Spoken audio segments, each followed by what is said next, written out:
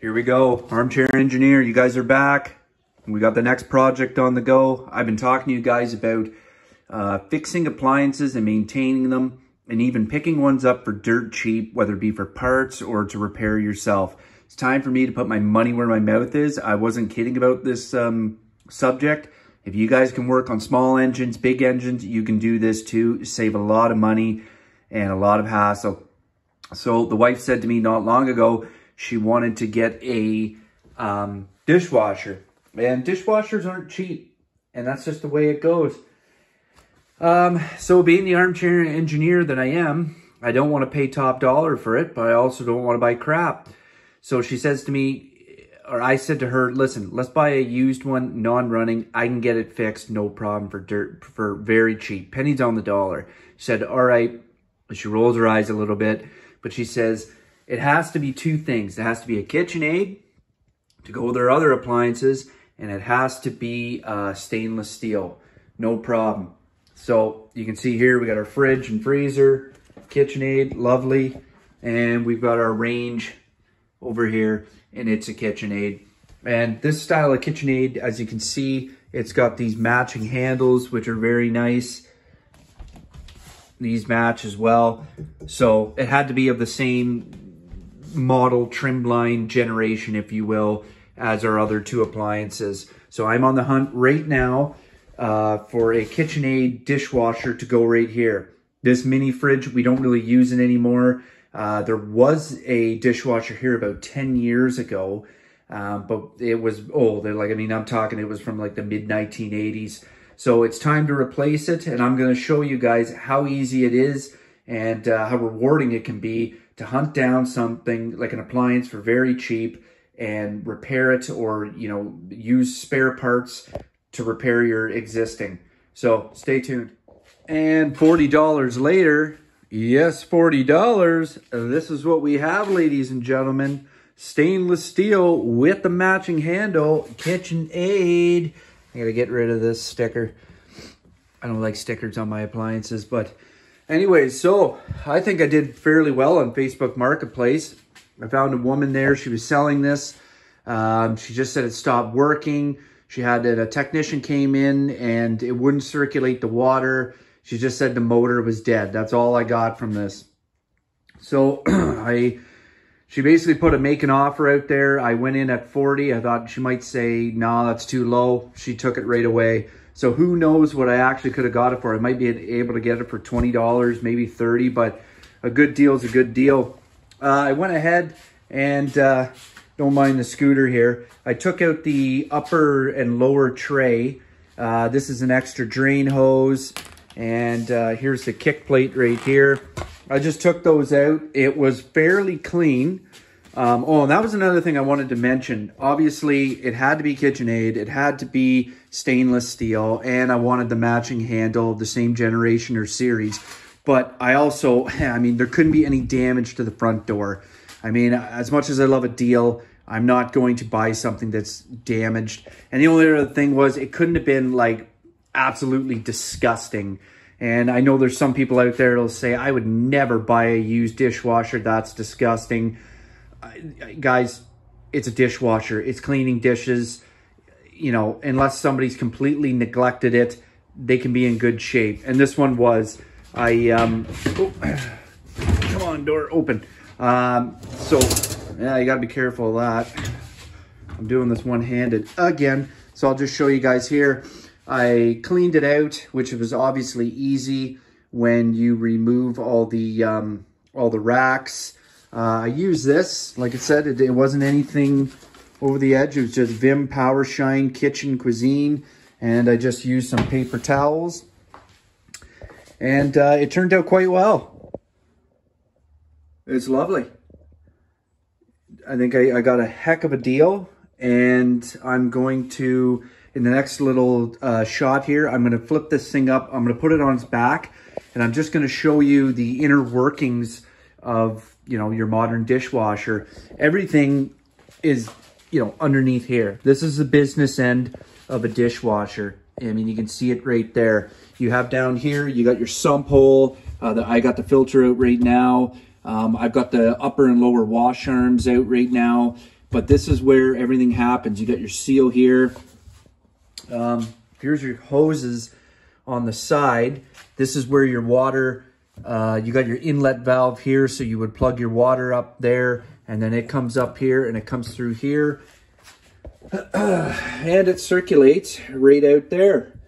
And then down here is your uh, fill. That's your, when it rises, it hits a certain point and it tells uh, it tells the circuit board to shut the water off.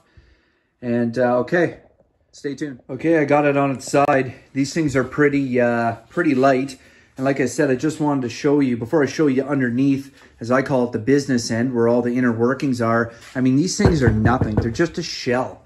You've got, you know, besides on the side here, your water, like everything else is just, it's just a shell. You got a door here. I mean, there is nothing to these. You've got great access. If you remove the dishwasher, you've got like wonderful, wonderful access at working at everything.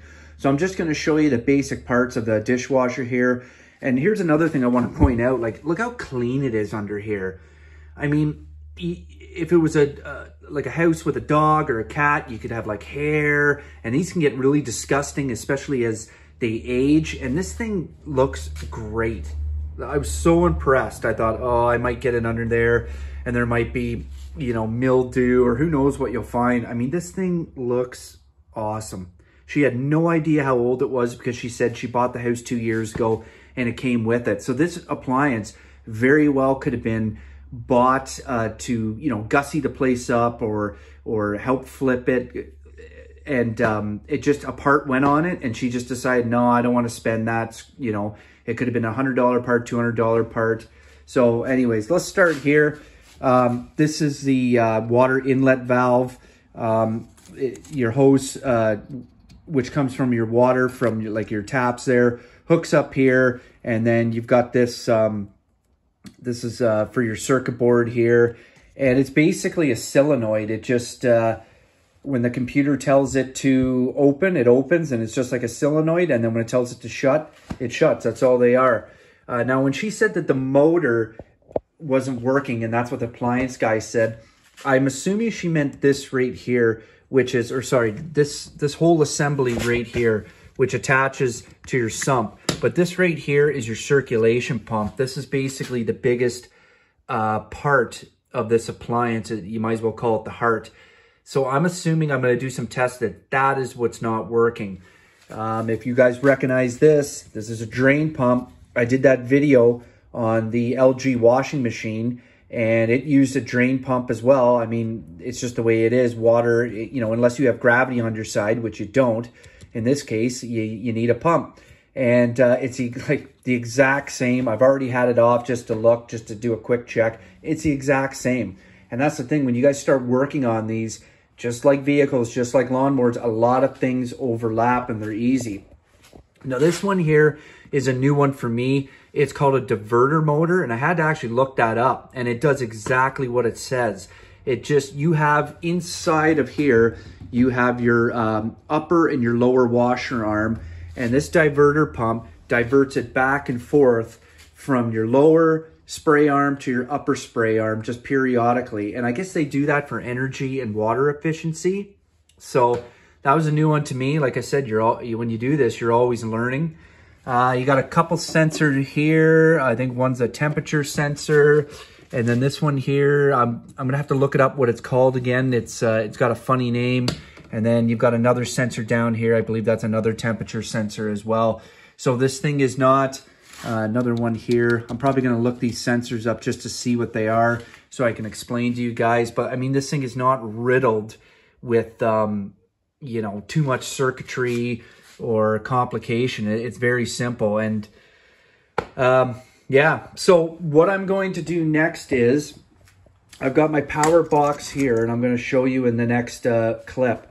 I'm going to, I've got my extension cord down here and I'm going to use it. I'm going to um, take my rets and I'm going to Marette it into here, uh, into these factory wires here. And then I'm going to, after I have a Marette uh, for safety, I'm going to plug it into the wall and I'm going to give power to this machine. And um, there's, I didn't show you guys here. I should have showed you in the last video, but you've got up here your top controls. And new appliances now, just like uh, the LG washing machine that I showed you guys, it gave a code um, automatically. Well, these uh, KitchenAid dishwashers, apparently what you have to do is you have to punch a sequence of buttons in.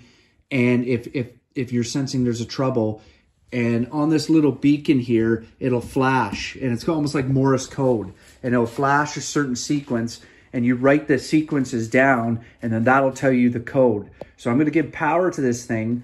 And what I'm hoping is it says that it's this right here. I mean, that's kind of a, a funny thing to say. I hope it's this. This is the most expensive part on the um, on the washing machine, or sorry, uh, on the dishwasher. But I'm hoping that I can get a clear cut code. And if I can't, or even if I do, I'm still going to use my voltmeter and I'm going to test everything to prove because I don't just like to part switch. I like to actually learn how and learn why.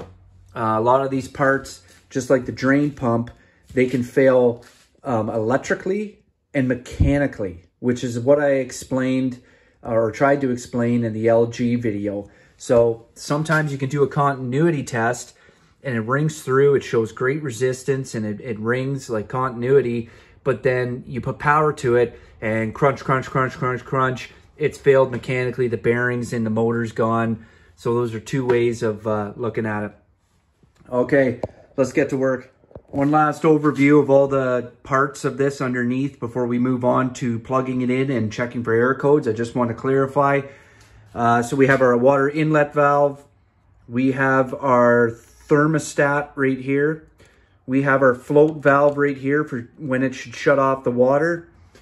We have here our drain pump diverter motor.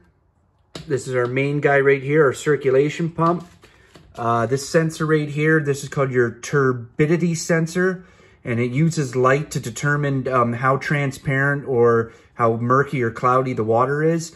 And the cloudier it is, when the light can't get through it, that's when it knows that uh, the, the water's dirty and it can no longer wash and it ends the cycle. Um, this guy right here and this guy right here are I, sorry, I said they were sensors or not. This is your heating element. This is your one great big metal loop that uh, heats and dries your dishes. So you'd put a continuity tester across this and this and see if you had continuity and the resistance in the event that uh, it burnt out. Um, that's it. You got our junction box up here, which is what we're going to be uh, uh hooking into. I just wanted to clarify that before we moved on. Pretty simple, ladies and gentlemen. Not too many parts, and every part on here is pretty self-explanatory. Okay, let's move on. So I've got my dishwasher plugged in. Um, you can see down here, I've got it wired into the receptacle box, and we are good to put it into diagnostic mode.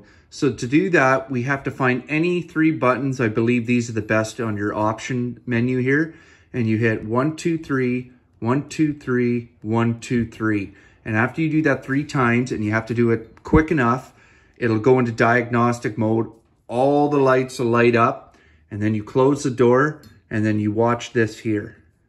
Okay, here we go.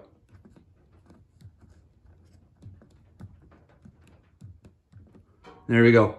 They're all lit up. Close the door, make sure it's tight, and watch for any flashing on this LED light.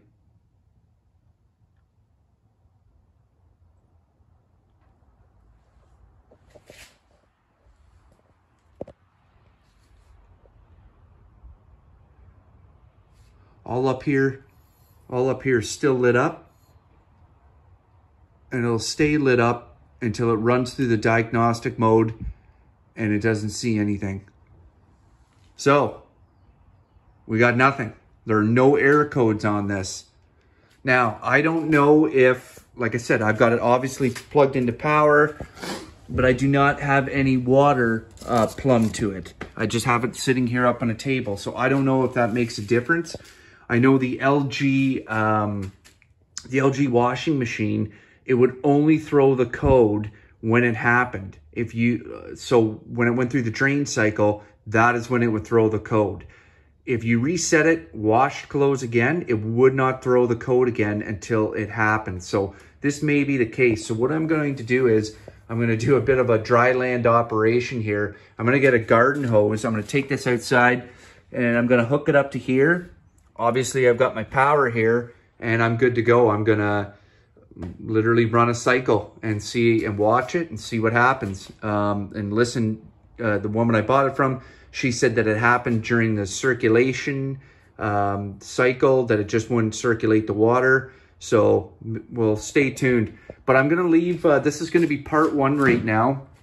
I'm just gonna break this up into a couple parts so it's not a super long video. Um, so stay tuned. I'll have it out fairly quick because I want to get this looked at. But if you like what you see, like, comment, and subscribe. Consider what I'm showing you guys. Like I, I just said, these things are dead simple. I'm going to even show you a little more diagnostic. But um, yeah, stay tuned. Armchair Engineer 85 out.